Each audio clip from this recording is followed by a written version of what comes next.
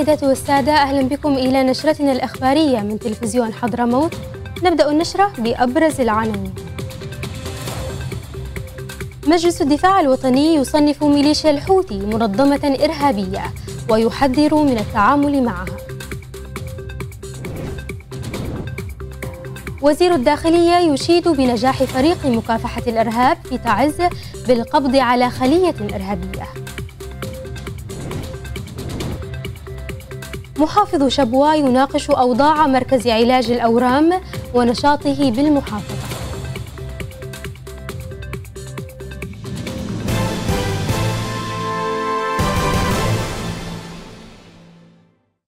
ومن العناوين إلى التفاصيل. أصدر مجلس الدفاع الوطني القرار رقم واحد لسنة 2022 بتصنيف ميليشيات الحوثي الانقلابية منظمة إرهابية وفقا لقانون الجرائم والعقوبات والاتفاقية العربية لمكافحة الإرهاب والاتفاقيات والمعاهدات الدولية والإقليمية المصادق عليها من قبل الجمهورية اليمنية. وبموجب ذلك وجه مجلس الدفاع الوطني الجهات ذات العلاقة باستكمال الإجراءات اللازمة لتنفيذ القرار. كما حذر الكيانات والأفراد الذين يقدمون الدعم والمساعدة أو التسهيلات أو اي شكل من أشكال التعاون والتعامل مع هذه الجماعات الإرهابية أنه سيتم اتخاذ إجراءات وعقوبات صارمة تجاههم. عقد مجلس الدفاع الوطني اجتماعا طارئا برئاسة رئيس مجلس القيادة الرئاسي الدكتور رشاد محمد العليمي القائد الأعلى للقوات المسلحة وبحضور جميع أعضاء مجلس القيادة الرئاسية ورؤساء السلطات التشريعية والتنفيذية والاستشارية ومحافظي حضرموت وشبوة للوقوف أمام تداعيات العمليات الإرهابية للميليشيات الحوثية المدعومة من النظام الإيراني. والتي استهدفت مينائي الضبة والنشيمة. واستمع مجلس الدفاع الوطني إلى عدد من الإحاطات والتقارير المقدمة من أعضاء مجلس الدفاع الوطني ومحافظي حضرموت وشبوة والخيارات المطروحة للتعامل مع هذه الهجمات التخريبية.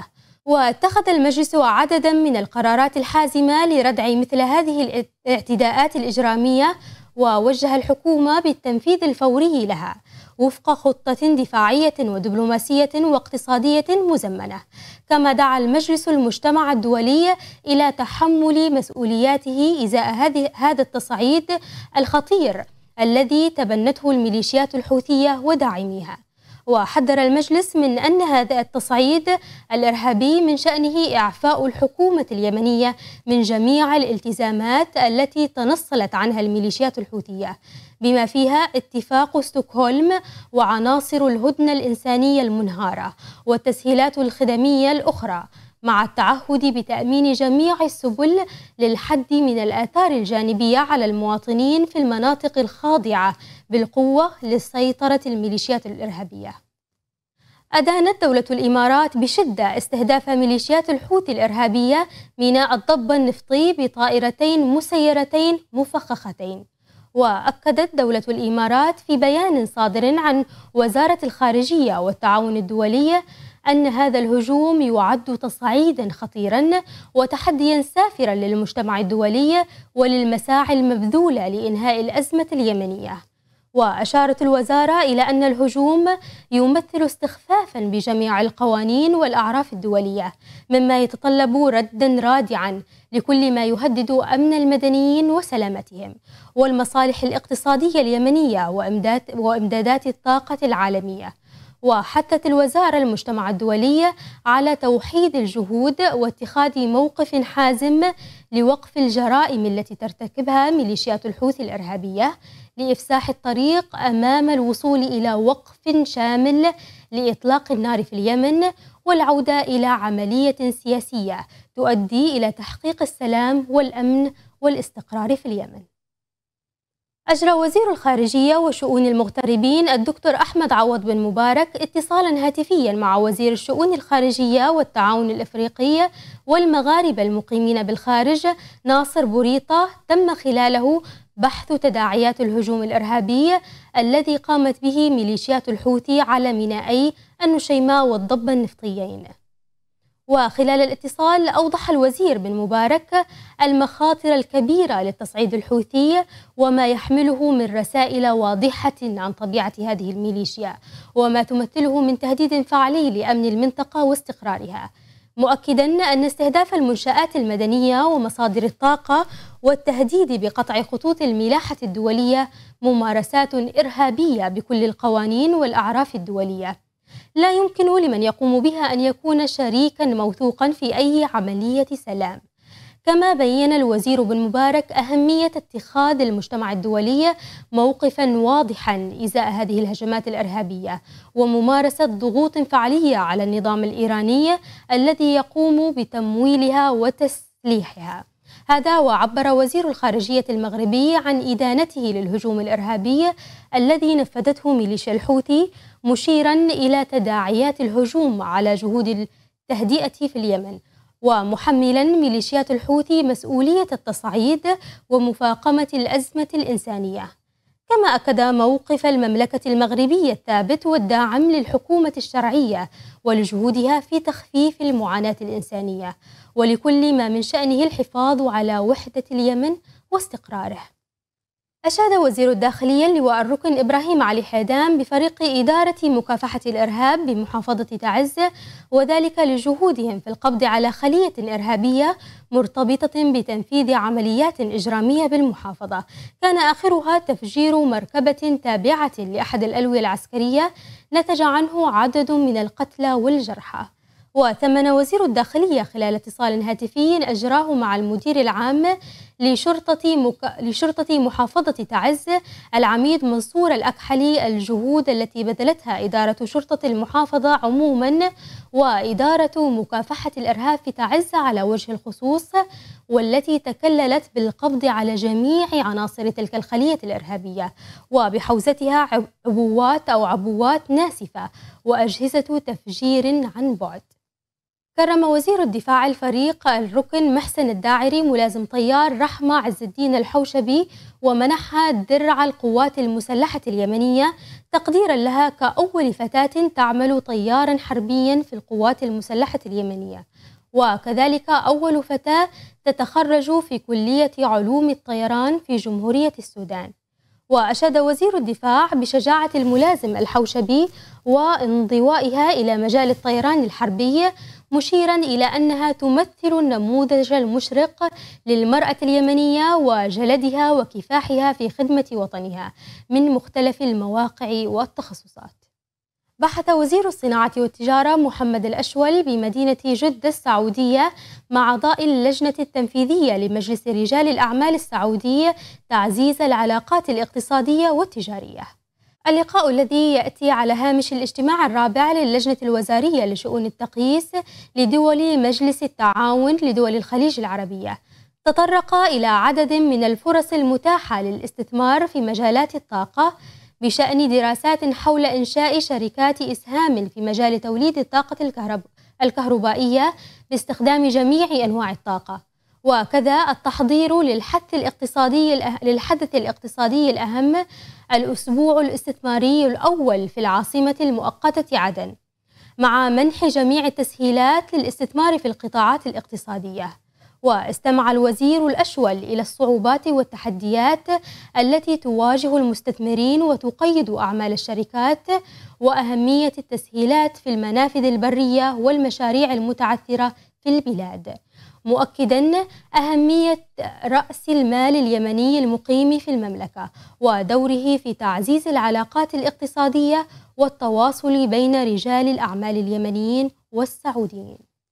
بحث وزير الزراعة والري والثروة السمكية اللواء سالم السقطري في العاصمة الإيطالية روما مع ممثلي بنك التنمية الإسلامي تدخلات وتمويلات البنك الخاصة بدعم مشاريع التنمية الزراعية والسمكية في اليمن وأهمية تعزيز العلاقات والتنسيق بين البنك والوزارة عبر الاتصال المرئي. وخلال اللقاء أشاد الوزير السقطري بدور البنك في دعم مشاريع التنمية الزراعية والسمكية في اليمن من خلال تدخلاته الإيجابية ودعمه المستمر للتنمية الزراعية. فيما استعرض ممثلي بنك التنمية الإسلامية مشروع زيادة الوصول للأسواق لصغار المزارعين منتجي محاصيل البصل والبن والعسل. البالغ تكلفته مليوني دولار والذي وافق البنك على تمويله كمنحة. وقد وقدرة البنك على حشد الموارد والبحث عن تمويلات غير مقيدة للإسهام في تنفيذ خطة تعزيز القطاع الزراعي والسمكي في تحسين الأمن الغذائي في اليمن. ناقش محافظ شبوة عوض محمد العولقي مع المدير العام للبرنامج الوطني لمكافحة السرطان بوزارة الصحة والسكان الدكتور جمال العلوي ومدير إدارة البحوث والإعلام الدوائي بالهيئة العامة للأدوية الدكتور أحمد مقبل. عددا من القضايا والموضوعات الخاصة بعمل مركز علاج الأورام وأنشطته بالمحافظة.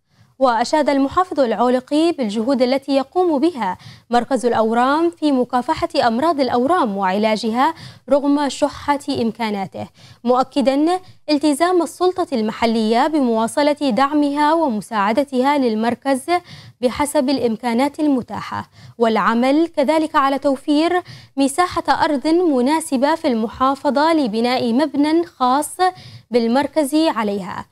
هذا وأثنى الدكتور العلوي على الجهود التي يبذلها العاملون بالمركز مطالبا محافظ محافظ المحافظة بمخاطبة وزارتي الصحة والمالية برفع عدد حالات المرضى المعتمدة رسميا للمركز من عشر حالات إلى ثلاثين حالة حتى يتمكن المركز من تقديم خدماته لأكبر عدد ممكن من المرضى. نظمت مؤسسة حضرموت لمكافحة السرطان أمل فرع حضرموت الوادي والصحراء بالشراكة مع الإدارة العامة لتنمية المرأة بديوان وكيل المحافظة سباق اختراق الضاحية بمشاركة 68 متسابقا من 23 مدرسة وثانوية حكومية وأهلية بمديرية سيئون. حيث أجرى السباق على طول امتداد شارع الجزائر أطول شوارع مدينة سيئون وذلك بالتزامن مع فعاليات الشهر الوردي للتوعية من سرطان الثدي وخطورة إصابته لدى الرجال والنساء والتوعية بضرورة ممارسة الرياضة اليومية للوقاية من السرطان. وحاز المرتبة الأولى في السباق الطالب باسم منصور من ثانوية بور للبنين بعد أن قطع المسابقة في خمس دقائق. عدد المشاركين في هذه الفعالية أكثر من 50 مشارك من مختلف آه، ثانويات ومدارس مديرية سيون.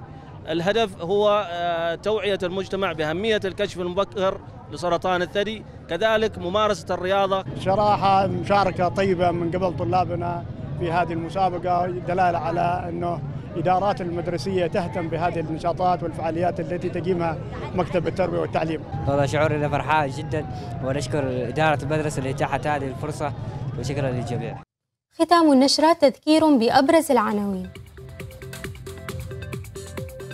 مجلس الدفاع الوطني يصنف ميليشيا الحوثي منظمة إرهابية ويحذر من التعامل معها. وزير الداخلية يشيد بنجاح فريق مكافحة الإرهاب في تعز بالقبض على خلية إرهابية. محافظ شبوة يناقش أوضاع مركز علاج الأورام ونشاطه بالمحافظة. ولمتابعة المزيد من نشراتنا الإخبارية يرجى زيارة حساباتنا على مواقع التواصل الاجتماعي تلفزيون حضرموت. في أمان الله.